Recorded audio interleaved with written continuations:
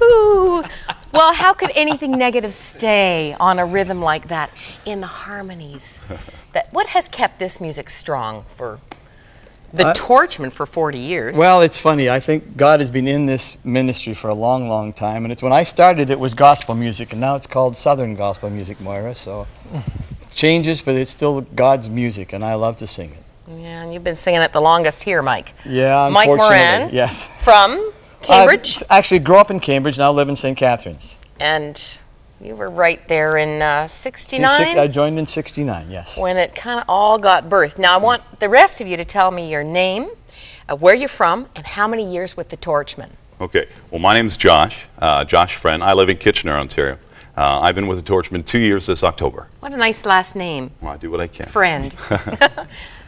I'm Dave Randall. Uh, I've been with the group for four and a half years, and I live in a little town called Clarksburg, Ontario. and you teach music in public school. Yes, I do. That'll be fun. Hi, I'm Sandy MacGregor. I, uh, I've been with the group probably around 10 years, three different decades 80s, 90s, and 2000s. He keeps coming back. I keep coming back, they say. Can't stay away. And I'm from Kitchener, Ontario. Well, we're going to do a little montage here. It's not a montage. We'll do. We'll just look at some, uh, mostly album covers.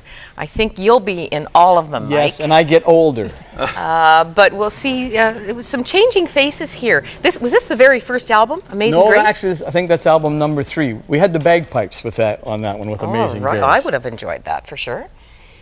This That's coming home. Coming home. In a country mood? More than you'll ever know. Quick story about that one, Moira. We were in Niagara Falls and went down to the gorge to have our picture taken. And you, oh. you, you ever been down there? It's a little windy. So, Okay. and I've back been in the- those in the with, Elora with the long hair, and then we had to come back up to get our pictures taken and fix our hair all back up Oh, again. So. unfriendly. No, no, not good. Now, oh, a lot of unfamiliar faces.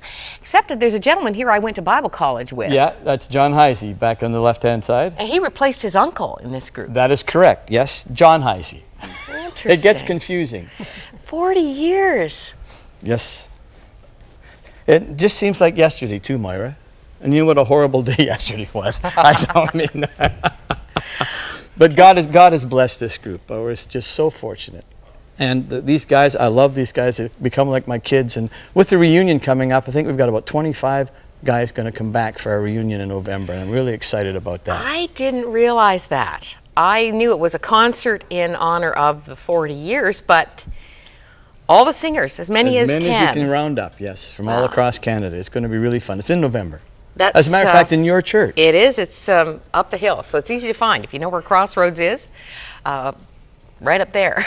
Kerns Road, Compass Point Bible Church.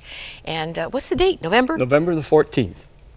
Okay, you know, I, I come back to this significant moment. I honestly felt we were exploiting the man's pain when Zig Ziglar was here, but he was uh, here with his book, Confessions of a Grieving Christian.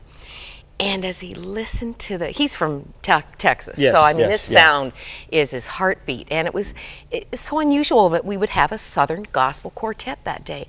And it really was just transformational for him. I think there were two songs before his interview, and it changed him. Moira, I could, if we could go back, I could show you letters, etc., where people have gone off to commit suicide and had a tape in their car and listened to us sing, and, and God has brought them back to them. So it's an amazing ministry. I've been so glad that God has blessed me to be in this long and to have these guys to sing with. Well, I want you to mark your calendars for November, 14th? and we'll have all that information on our website.